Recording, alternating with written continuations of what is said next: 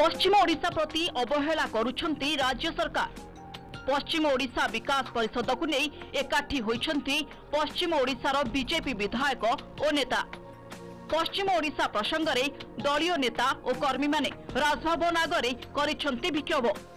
পশ্চিম ওড়িশা বিকাশ পরিষদর মুখ্য কার্যালয় পশ্চিম ওড়িশার স্থাপন কাউন্সিল গঠন ও বিকাশ পরিষদকু অধিক অনুদান প্রদান ভি দাবি উঠাইছে বিজেপি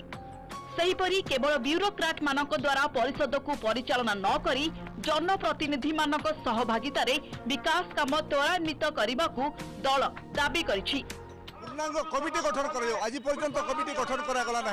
যে পশ্চিম ওড়শার বিধায়ক সাংসদ হিসাবে জিতিছেন সে সদস্য রহবা কথা বিজু জনতা দল তাঁর দলীয় লোক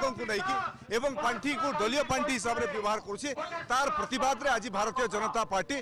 মহামহিম রাজভবন সামনে ধারণা দেছে আগামী দিনে যদি ওড়শা সরকার গম্ভীরতার সহ এ প্রসঙ্গক বিচার ন আউ টিকে ব্যাপক জন আন্দোলন ভারতীয় জনতা পার্টি করব এ চারিটি দাবি নেই ভারতীয় জনতা পার্টি আজ মহামহিম রাজ্যপাল সামনে ধারণার বসছে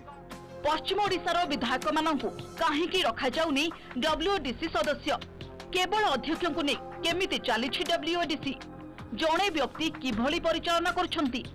পশ্চিম ওড়িশাকু মিলিছি মাত্র দুইশহ কোটি টঙ্কা ଏହା ବଦଳରେ ଏକ ହଜାର କୋଟି ଟଙ୍କା ଦାବି କରାଯାଇଛି ସେପଟେ ଏହାର ଜବାବ ରଖିଛି ବିଜେଡି